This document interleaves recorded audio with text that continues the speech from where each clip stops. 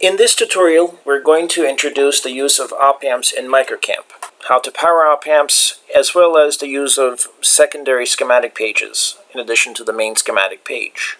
Let's start a new circuit schematic and choose the op-amp.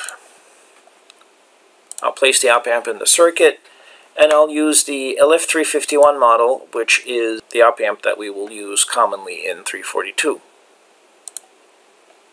A new window pops up saying that op-amp power supplies were added. When we look at the schematic page, we see that a new schematic page has opened up and the values for this were plus 15 and minus 15 volts by default.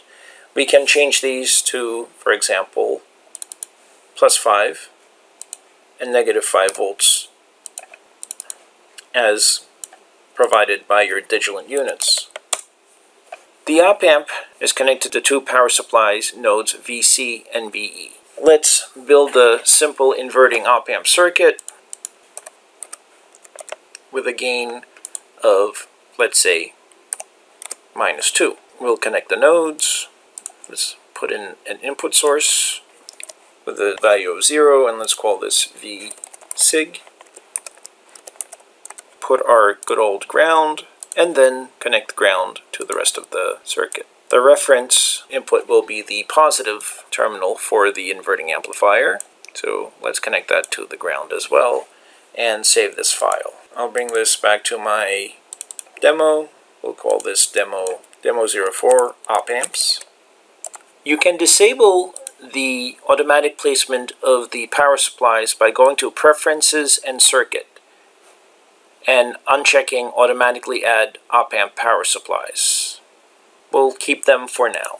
When dealing with real op-amps, there are a number of parameters that we have to be aware of. These include the gain bandwidth product, the DC voltage gain, and so on that we will study in class. When setting up the simulation though, the important things that you need to plug in are the supply voltage limits. You'll note that VCC, which is the positive supply, VEE, which is a negative supply, VNS, which is the negative voltage swing limit, and VPS, the positive voltage swing limit, are still defined as they were for the plus and minus 15 volt sources. So we will have to manually change these.